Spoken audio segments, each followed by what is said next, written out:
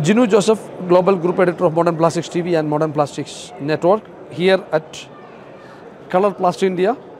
Mr. Rajesh Aggarwal and uh, Shitiz Aggarwal is with me. Could you please tell our viewers about your company and the product range? Yeah, Please. Of course. Uh, we are Color Plast India. Uh, we have come from New Delhi, India, and uh, we are into the trade of industrial raw materials.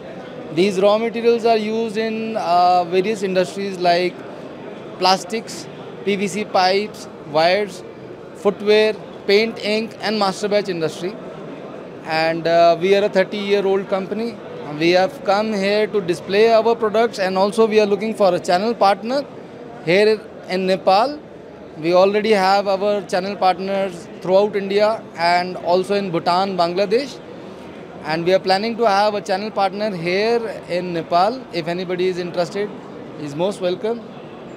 And uh, we assure you that the products and the price of our company, they are going to be outstanding. And uh, people will appreciate the product. Uh, we are a 30 year old company, so the products are already established in India.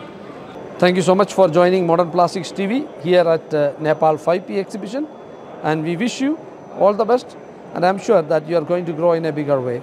Thank, you so much. sir. Thank you. Thank you. Nice to meet you. Nice to meet you. Thank you. Thank you. एक photo उनके mobile पे